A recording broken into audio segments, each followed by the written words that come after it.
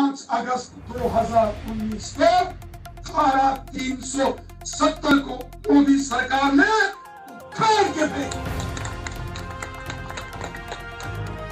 ये धारा 370 जम्मू कश्मीर के किसी व्यक्ति के हित में नहीं थी। इसलिए जब धारा 370 हटाई गई, कश्मीर में कोई प्रदर्शन नहीं हुआ, कोई पत्थरबाजी नहीं हुई। जम्मू रीजन हो जिसमें जम्मू, सांबा, कठुआ, उधमपुर, रियासी, रजौरी पुंछ नामबन डोडा और किश्तवाड़ ज़िले हैं। शाम के साथ तिरंगा झंडा लहराया गया।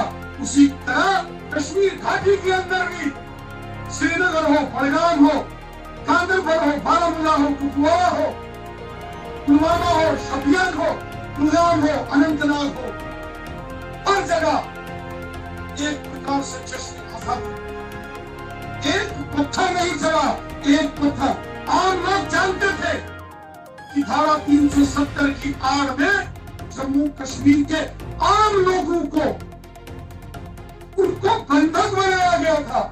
उनके पाँव में गुलामी की जंजीरें बाँध के रखी थी। गुलामी की जंजीरों में धारा 370 में जम्मू कश्मीर के हिंदू हो, मुसलमान हो सिख हो ईसाई हो, गाँव के हो, शहर के हो, हर व्यक्ति को जकड़ दिया। चंद गिने चुने परिवार थे, चंद। चंद गिने चुने परिवार थे, जो इस धारा 370 की आड़ में वो अपनी दुकानदारी चलाते थे। तो मोदी साहब की सरकार का वो संकल्प देश के लिए इस विभाजनकारी इस षड्यंत्रकारी धारा को समाप्त करके एक भारत एकात्म भारत, एक भारत, श्रेष्ठ भारत के संकल्प को पूरा किया और जो सपना स्वर्गीय डॉक्टर श्यामा प्रसाद मुखर्जी, पंडित प्रेमनाथ जी डोगरा, महाराजा हरि सिंह जी बहादुर, ठाकुर बलदेव सिंह जी, उनके साथ साथ असंख्य बलिदानियों ने जो कुर्बानियाँ देते समय, जो खाब देखे थे, जो संकल्प लिए थे संकल्पों को नरेंद्र मोदी साहब की सरकार ने देश हित में पूरा किया। और जब धारा 370 हटी जम्मू कश्मीर तिरंगे झंडे से लहरा रहा था और इसका विरोध कहाँ हो रहा था। धारा 370 को हटाने का विरोध लाहौर, इस्लामाबाद, कराची और मुजफ्फराबाद में हो रहा था।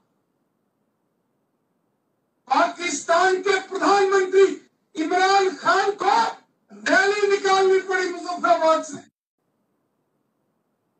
किसके पक्ष में?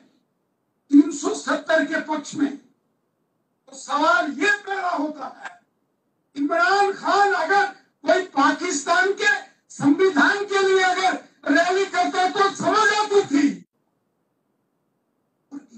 खान हिंदुस्तान के संविधान की एक धारा को हिंदुस्तान के पार्लियामेंट में हटाया। उसके लिए विरोध प्रदर्शन इमरान खान करता है। तो आपको समझ लेना चाहिए कि इस धारा के पीछे कितनी बड़ी साजिश छिपी।